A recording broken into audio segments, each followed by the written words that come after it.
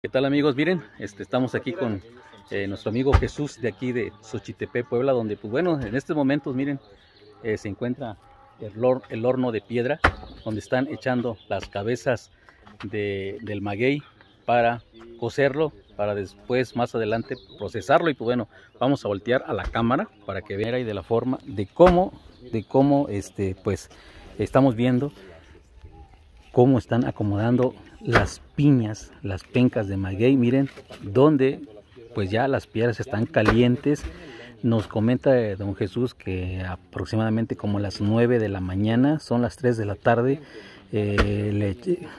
le, echó lumbre a las piedras, están completamente calientes y nos dice que lo va a dejar aproximadamente 3 días. 3 días lo va a tapar y, pues bueno el maguey las pencas se van a se van a cocer. Y bueno esta es la manera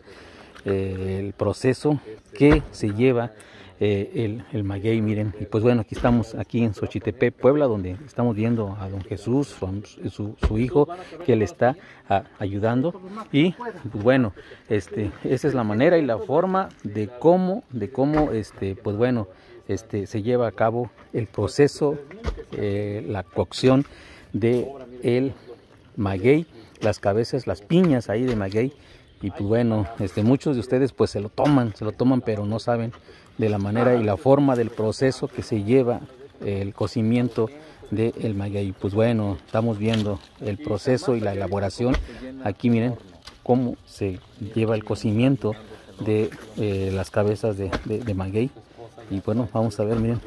ahí está este, miren aquí tenemos este son las piñas las piñas eh, donde pues bueno ahí se la están acomodando al horno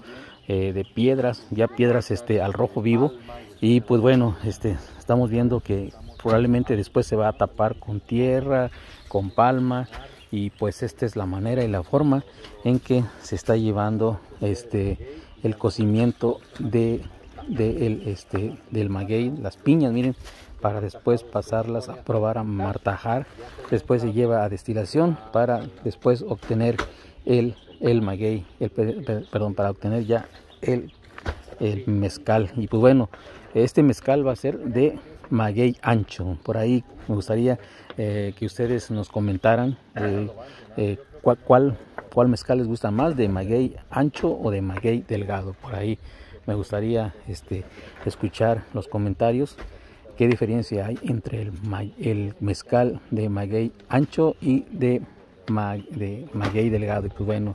aquí estamos viendo eh, la esposa de don Jesús, su hijo, de la manera y la forma de cómo están acomodando las piñas aquí en este horno, horno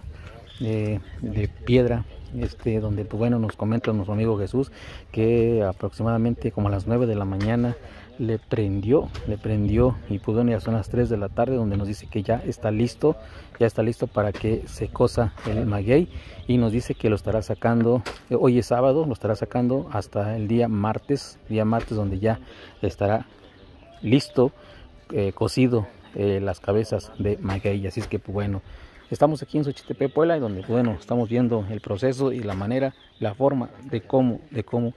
eh, se está este, cocinando el maguey para después procesarlo y sacar un riquísimo mezcal, mezcal de maguey